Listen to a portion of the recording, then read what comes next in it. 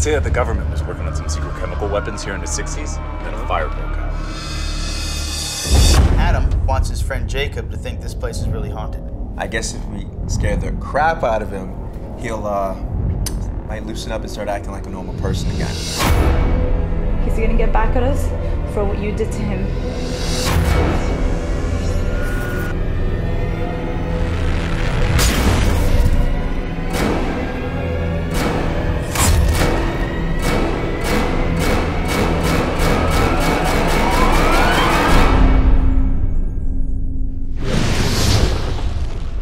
The network doesn't know we're here.